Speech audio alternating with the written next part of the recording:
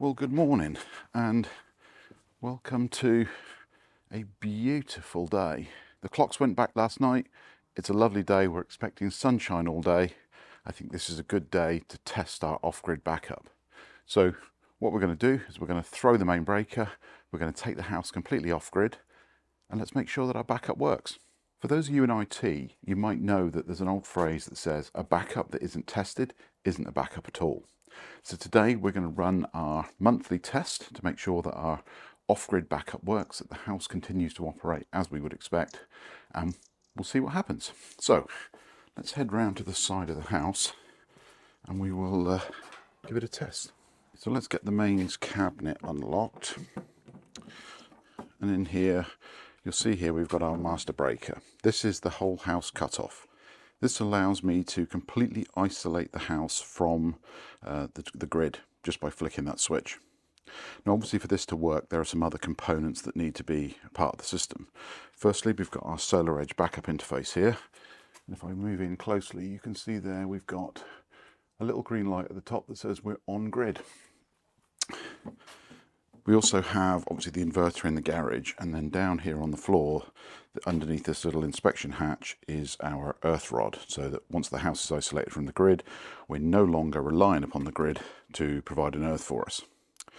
So there really is nothing less to do except throw the switch. Now I don't know if you heard that clunk then that was the system falling over into backup mode. So you can see that the little green light is on and that means the house is now running in backup mode. So once the system goes into backup mode, that means that uh, some things in the house aren't going to work. Here's a great example. So as you can see here, here is one of our Zappis. The Zappi is completely dead and that is because it's not on our critical circuits. If I head back into the garage, You'll have to excuse the mess. We're in the middle of remodeling everything. But here's the inverter. Um, everything's running quite nice. It's a little difficult to see, but the status lights under there show everything is running as we would expect um, in off-grid mode. Now let's take a quick walk into the house. There's Bear. Just check that everything is working. So here is a Here's what we've been remodeling as if we put a proper roof on our conservatory. And here are two clocks. So the iPad has been running all this time. Hello, Yogi. Um, as you can see, this clock is correct, even though the power went out.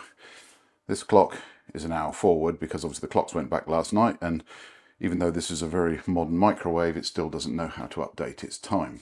So the way this would normally work is that you would get a notification from the app to tell you that the grid's gone down, but everything's fine, don't worry, we're running on the, the batteries, and it will actually show me how much capacity we have in the batteries and estimate on our current usage as to how much time we've got left. Now we're going to leave this to run for about an hour, and then I'm going to head back and I'm going to bring the house back on the grid. Okay, it's been about an hour. We've been running successfully off the batteries.